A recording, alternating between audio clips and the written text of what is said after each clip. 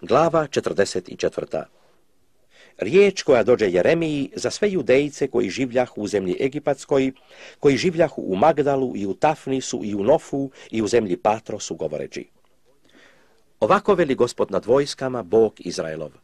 Vi vidjeste sve zlo što navedoh na Jeruzalem i na sve gradove Judine i evo su danas pusti i nema nikoga da živi u njima.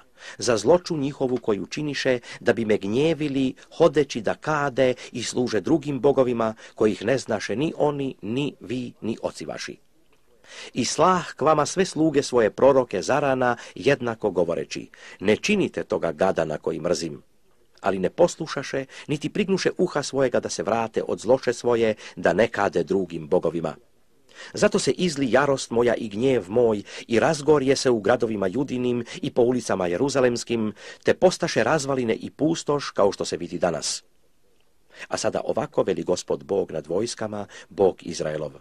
Zašto sami sebi činite tako veliko zlo, da istrijebite iz jude ljude i žene, djecu i koja sisaju, da ne ostane u vas ostatka? Gnjeveći me dijelima ruku svojih, kadeći drugim bogovima u zemlji Egipatskoj, u koju dođoste da se staniste, da biste se istrijebili i postali kletva i rug u svih naroda na zemlji. Jeste li zaboravili zla otaca svojih i zla careva judinih i zla žena njihovih i svoja zla i zla žena svojih koja činiše u zemlji judinoj i po ulicama jeruzalemskim? Ne pokoriše se do danas, niti se pobojaše, niti hodiše po mom zakonu i uredbama mojim koje stavih pred vas i pred oce vaše. Zato ovako veli gospod nad vojskama, Bog Izraelov. Evo ja ću vam obratiti lice svoje na zlo, da istrijebim sve judejce. I uzet ću ostatak judin koji okrenu lice svoje da ide u zemlju Egipatsku, da se ondje stani i izginuće svi. U zemlji će Egipatskoj pasti i izginuti od mača i od gladi, malo i veliko. Izginuće od mača i od gladi i bit će uklin i čudo i prokletstvo i rug i pohodit ću one koji nastavaju u zemlji Egipatskoj, kao što sam pohodio Jeruzalem, mačem, glađu i pomorom. I ni jedan od ostatka judina što otidoše u zemlju Egipatsku da se ondje stane, neće uteći, niti se izbavi da se vrati u zemlju judinu u koju se žele vratiti da se nasele, jer se neće vratiti osim koji pobjegnu.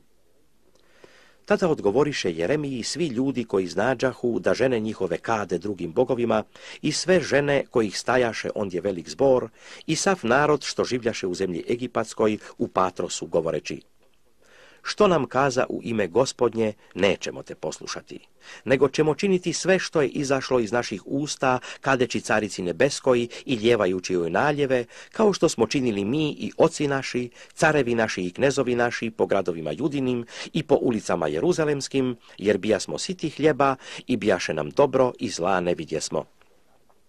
A otkad presta smo kaditi carici nebeskoj i ljevati joj naljeve, ništa nemamo i ginemo od mača i od gladi. I kad kadimo carici nebeskoj i ljevamo joj naljeve, edali joj bez glavara svojih pečemo kolače služeći joj i ljevamo joj naljeve. Tada reče Jeremija svemu narodu, ljudima i ženama i svemu narodu koji mu onako odgovoriše govoreći. E da li se ne opomenu gospod kada kojim kadiste po gradovima judinim i po ulicama jeruzalemskim, vi i oci vaši, carevi vaši i knezovi vaši i narod zemaljski, i ne dođe li mu u srce, i ne može gospod više podnositi zloče dijela vaših i gadova koje činiste, te zemlja vaša posta pustoš i čudo i prokletstvo, da niko ne živi u njoj kako se vidi danas. Zato što kadiste i što griješiste gospodu i ne slušaste glasa gospodnjega i po zakonu njegovu i po uredbama njegovim i svjedočanstvima njegovim ne hodiste. Zato vas zadesi ovo zlo kako se vidi danas. Još reče Remija svemu narodu i svim ženama. Čujte riječ gospodnju svi judejci koji ste u zemlji Egipatskoj. Ovako veli gospod nad vojskama, Bog Izraelov govoreći. Vi i žene vaše rekoste ustima svojim i rukama svojim izvršiste govoreći. Izvršivat ćemo zavjete svoje što zavjetova smo, kadeći carici nebeskoj i ljevajući joj naljeve. Doista ispuniste zavjete svoje i izvršiste. Zato čujte judejci riječ gospodnju, svi judejci koji stanujete u zemlji Egipatskoj.